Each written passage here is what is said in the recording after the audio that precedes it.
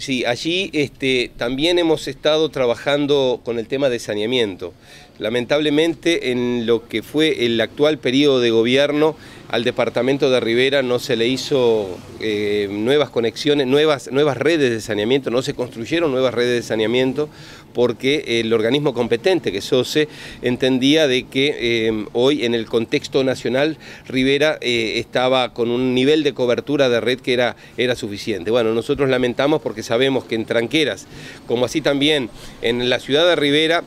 hay demandas de extensiones de red y ni que hablar en Corrales y Bichadero que no existen. Entonces, pero sobre las conexiones hechas, sobre las redes ya construidas, em, veíamos de que teníamos un nivel de conexión muy bajo y que eso, eh, además de, desaprovechar una infraestructura que ya está instalada, em,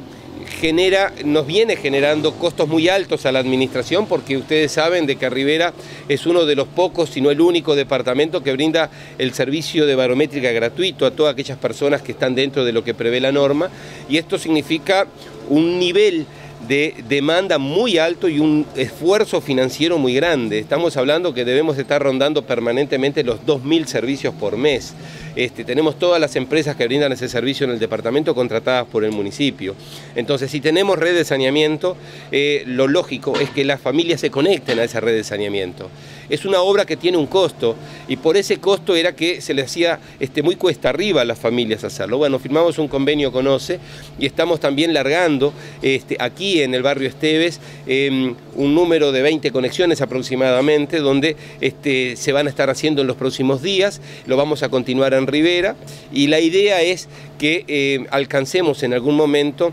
este, donde hay red de saneamiento, que a no ser por un problema técnico, estén todos los vecinos conectados y nosotros estaremos ayudando para que ello suceda.